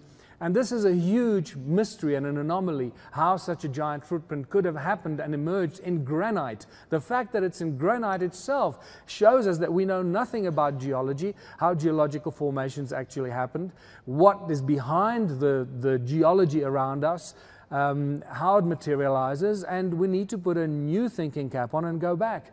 So, the interesting thing about this footprint is that it's about four feet tall, which would have been made by about a seven and a half meter giant.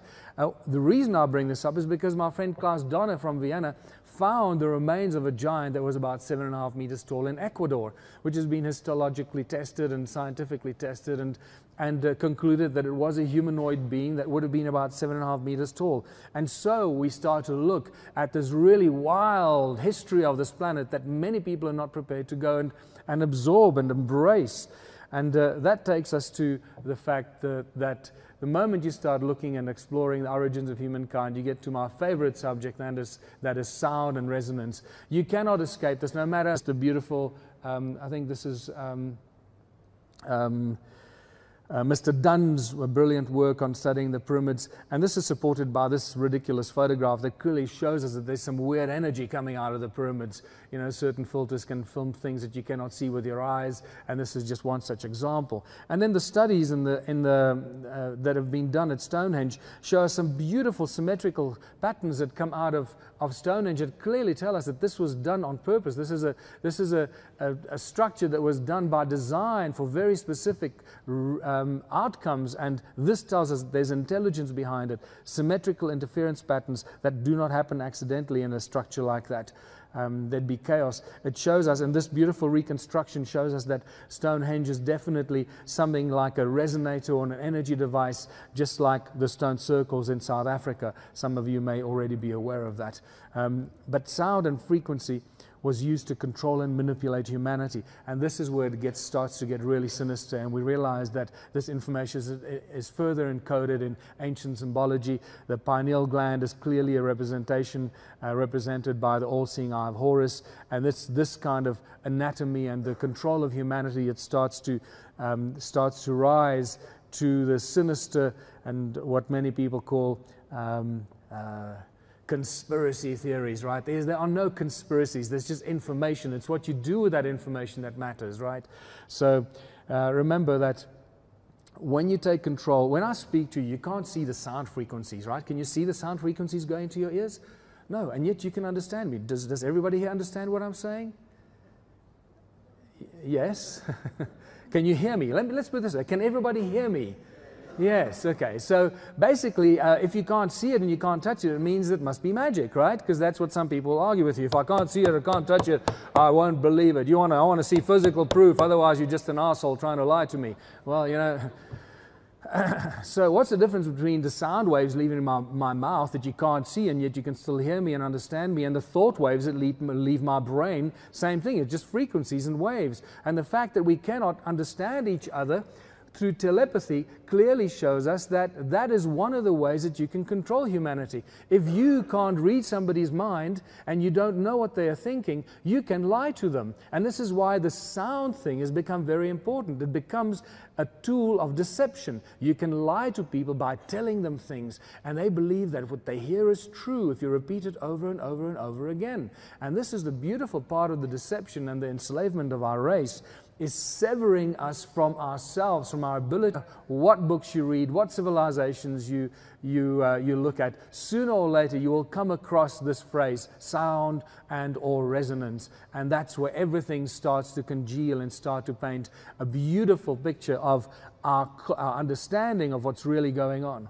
Sound and resonance are the common links of religious of religions and creation and you can't escape that. In christianity we have the word god said let there be light and it's important just that sequence said light sound and light. That's a very important sequence here that we, we start finding. In hinduism we have the om or the aum. Egyptians believe that the universe was sung into creation and this hindu creation story is just phenomenal and this is the beautiful thing when you start connecting these dots, you realize that the ancients are telling us the same information in different words, and it gets really exciting. And we start coming face to face with this number six, the six days of creation, that very quickly can be uh, explained with sacred geometry. And you realize that the sacred geometry subject is a huge subject that we need to embrace because it's from sacred sacred geometry that we get all our wisdom and knowledge in mathematics, physics, geometry, astronomy, and so forth.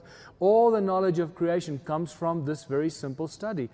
And, um, and mathematicians and scientists that do not embrace this keep running into dead end walls and dead end streets before they start to realize that they need to embrace this knowledge and this information. Six days of creation, on the seventh day, God rested. In Hinduism, we have, uh, and Buddhism, we have the six aspects of Om and uh, then we have the Mayan creation story, which is equally beautiful. The heart of sky and six other deities, including the feathered serpent, wanted to create human beings with hearts and minds who could keep the days. And you realize that we're getting into a lot more sinister kind of creation story that keeps a lot more secrets than we imagine. Um, six aspects of the all seeing eye of Horus for those that understand resonance ratios will realize, oh, that's what, that's what this is all about. It's actually about resonance, resonant harmonic ratios and resonant frequencies, coherent resonance that starts to pull things together.